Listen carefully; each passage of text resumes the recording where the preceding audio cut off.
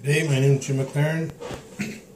I replaced the H55 and I replaced with the H60.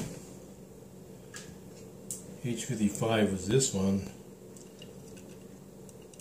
Bolted in here, at the back plate, the back of your motherboard, and this sit on the front. And then the CPU, or the cooler, snapped in here and you have to rotate it a bit and they snapped under these, these rings. I didn't like that, it, uh, as you can see the bolts here, they're kind of damaged a bit. I'm not sure if it's cooling or not properly. I decided to take the H60. Now, problem was, when I put the H55 in, I took this bracket out. Now, luckily I found the bracket, but I could not find the screws. They're fine thread screws. Very hard to maybe pick up on that or something. It's very fine thread. This is not long enough. I scrounged around for a couple hours, finally found four screws, and all the same, but it works. So that bracket's got to go back on. Because this is going to hook on here. little keyways here that.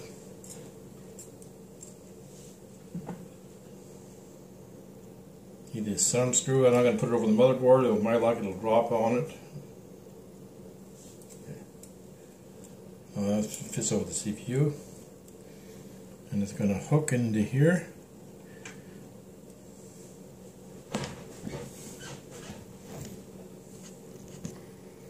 Now I took the bottom plastic off here. I get thermal paste there. Don't forget to take this plastic off here too.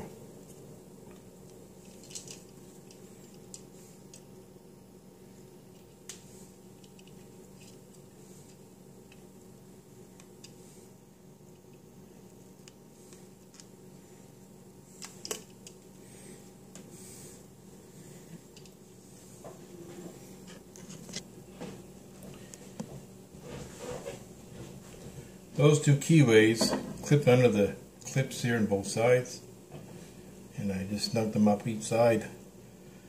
To take a few minutes. Twist it a wee bit here. Is that right where I want it?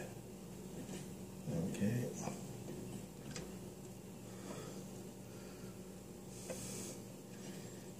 Snug that up. I'm not going to tighten it too much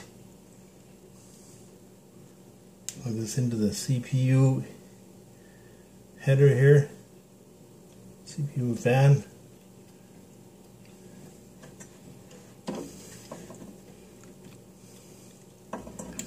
three pins.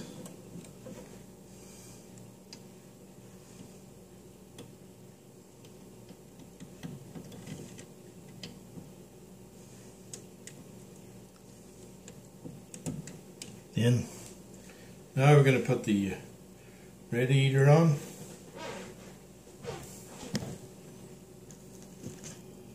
I'm going to put the fan on the radiator and they're suggesting that the uh, fan goes, the air goes into the case.